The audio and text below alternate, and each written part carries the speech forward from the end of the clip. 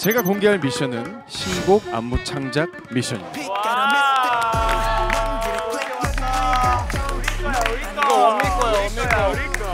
가사를 위한 wow point. 아주 작은 소리의 비트라도 놓치지 않는 여러분들의 포인트. 그거 굉장히 좋아합니다.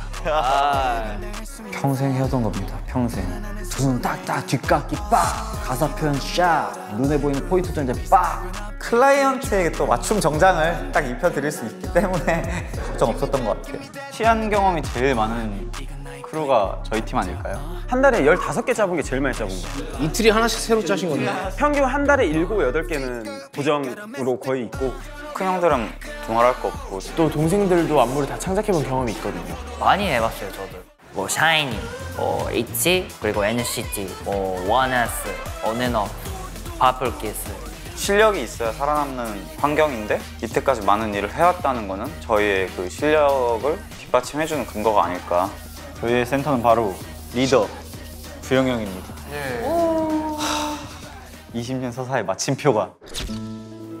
20년 동안 일을 하면서 춤을 췄는데 뒤에서만 했어요.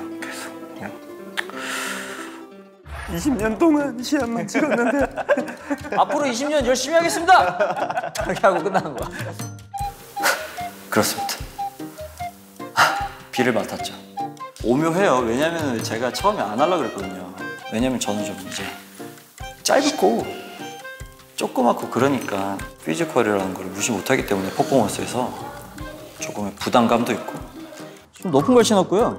예, 좀 높은 걸 신었고 우리 비의 강점은 빈님과 비슷하게 춤에 대한 경력이 너무 많고요. 그들이 뭘 원하는지 어떻게 해야 좋아하는지 너무 잘 알고 있어요.